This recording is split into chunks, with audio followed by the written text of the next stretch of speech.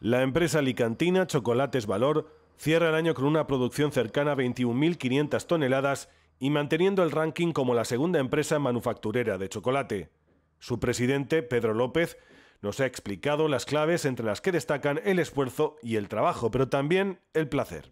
Con mucho esfuerzo, con mucho trabajo, con toda la ilusión del mundo y, bueno, yo diría que, que, sobre todo intentando satisfacer paladares y eso se hace a base, de, a base de placer en el mundo del chocolate. Más de 60 países disfrutan de estos aclamados chocolates, entre ellos destacan Estados Unidos, Canadá, Ecuador o Perú, aunque España sigue siendo su mayor y principal mercado.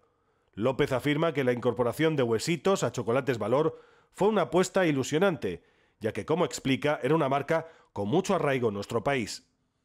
Huesitos es una marca tan querida, prácticamente tan querida y tan reconocida como, como Chocolates Valor y bueno, pues tanto en el mercado de impulso como en la propia gran distribución eh, ha significado un, un, aire fresco muy, muy, muy ilusionante. Chocolates Valor, con su método de satisfacer paladares, se reafirma así como una de las empresas de chocolate líder.